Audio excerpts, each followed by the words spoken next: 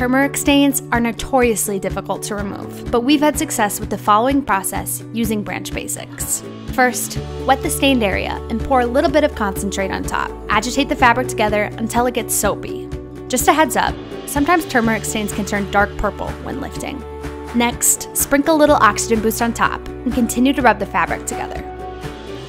Since the fabric is white, you can let the concentrate and oxygen boost sit on top of the stain, agitating every so often. We don't recommend letting oxygen boost sit on colored fabrics. We'd soak or wash directly after treating.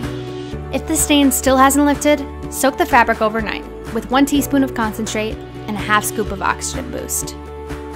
Wash as normal. And you're done.